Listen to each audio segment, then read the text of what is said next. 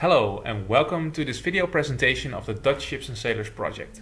My name is Victor de Boer and in this project I work together with a number of Dutch maritime historians to link together a number of separate uh, maritime historical datasets from the Netherlands. In this project we look at how linked open data can be used to link together different datasets and expose them in new ways to maritime historians so in the project, we uh, worked with a number of existing datasets and a number of new datasets that were digitized the, with the help of historians.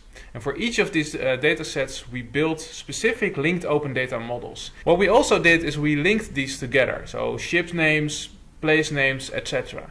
Uh, we also linked to uh, the open newspaper archives made uh, available by the Royal Library of the Netherlands.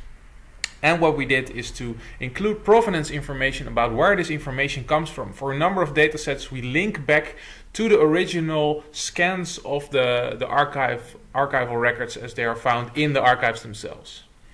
All this data is brought together in the Dutch Ships and Sailors Linked Data Cloud. This is a ClioPatria triple store which allows you to do some innovative exploration and uh, visualization of the data. The data can be accessed through a number of APIs, including the SPARQL API, which allows you to uh, import the data and use it for further visualizations. So one example is this visualization of uh, locations of the northern, northern musterings from the 19th century. So where did people come from?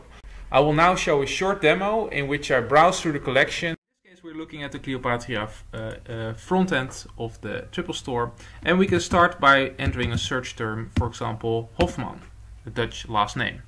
We can then use the facet browser on the right to uh, restrict our search to, for example, people based near Groningen in the Netherlands.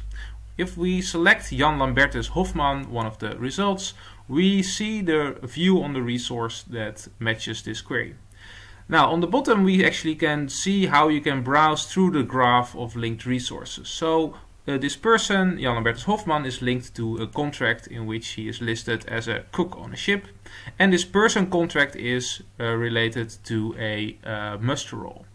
So if we go to the muster roll, we see actually visualized a number of interesting things. So this muster roll from 1892 from the ship the Winneweer has a number of person contracts. So for sailors, cooks, deck boys, carpenters, captains, etc.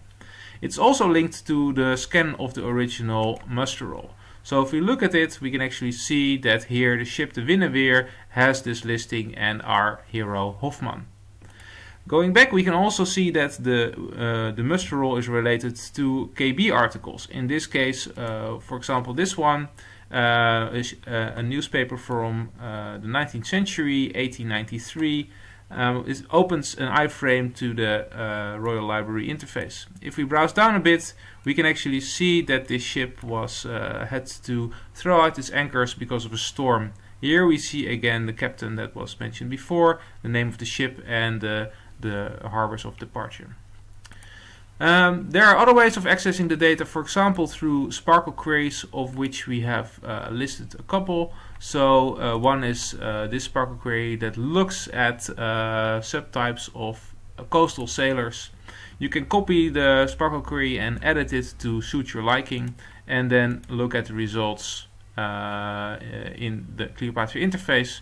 And by clicking on them, we again can start use this as a starting point for browsing the graph of linked data. So in this case we look at, for example, the ship that was associated with this mustering and we see that a number of uh, other ships with the same name occur that are probably the same ship and therefore same as relations are uh, identified. We also have the ship type and the ship type we can then browse a bit further to see that it's actually uh, a narrower ship type of these coastal sailors. So there are a number of ways of accessing this data again, in, including a more uh, complete Prolog, Prolog shell in which you can do very uh, complex analysis, such as uh, identifying the the careers of uh, persons. So this is the career of a Remold Gosselaar, and then we can see if we run this uh, Prolog query, uh, we can actually analyze the, the whole career of this person. That he went from 1859 as a simple sailor, a lichtmatroos, to um, uh, a captain later on in his life. We can also list all the different ships that he embarked on, including the treintje where he ended his career. Thank you very much.